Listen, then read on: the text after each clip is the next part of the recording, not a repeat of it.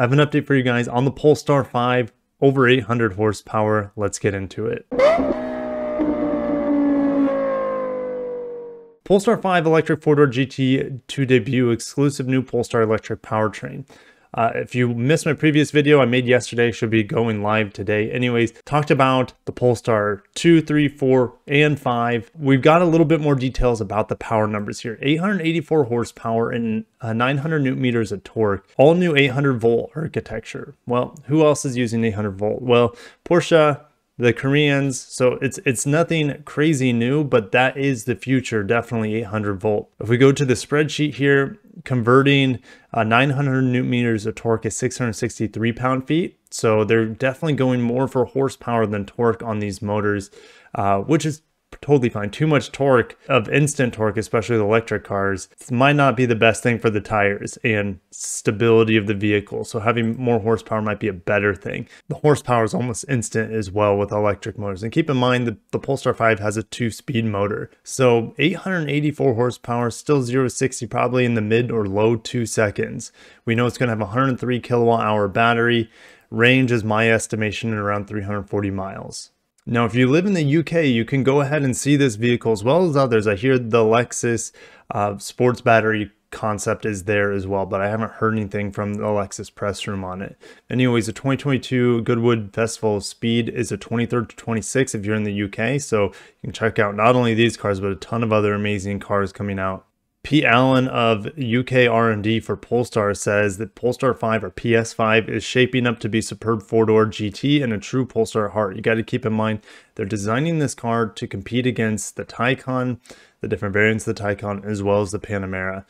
The platform combines low volume performance car attributes with modern technological advances to bring lightweight, high rigidity sports car chassis technology into mass production.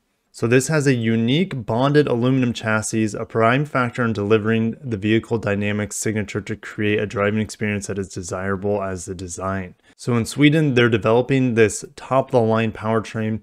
A new rear electric motor will provide superior output along with 800 volt architecture. Combined with a high output front electric motor, the complete dual motor powertrain aims to deliver 884 horsepower. The PS5 will run up iconic Goodwood Hill twice daily during the event in the first glance group.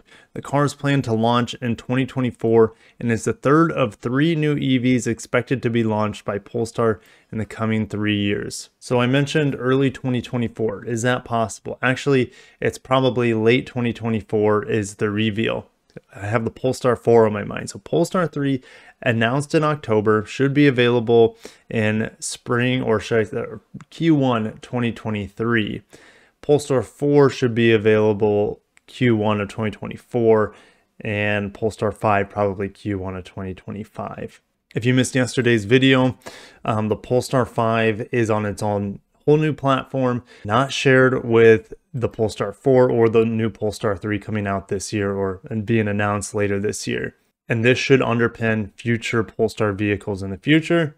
And the only other Polestar vehicle that we know of is the O2 concept. So more than likely that will share this new Polestar 5 platform as well. These are just my guesses at the pricing. And I just have this as a hypothetical because they talk about this P10 motor being a rear motor, but they said it can be put into different packages, meaning it's not exclusive to this platform. That motor could probably slot into a Polestar 4 or Polestar 3 as well. I don't know what would be keeping them from putting it in the front axle as well to power the front wheels. Uh, for a Polestar 5 performance. But I mean, 1200 horsepower might just not be realistic or safe for the average population. I mean, is 800 horsepower? No, absolutely not. But I welcome it and I welcome it with open arms. Over 800 horsepower. Anyways, just wanted to wrap that up for you guys. Are you excited about all the Polestar vehicles? It starts with the Polestar 3 this year later. So definitely stay tuned. I will update you guys on that and definitely check out my Polestar 2 review that I did a couple weeks back. Check you guys in the next video. Thank you for watching. Hit the like button if you haven't. Have a great day. Take care of yourselves. And as always, peace out.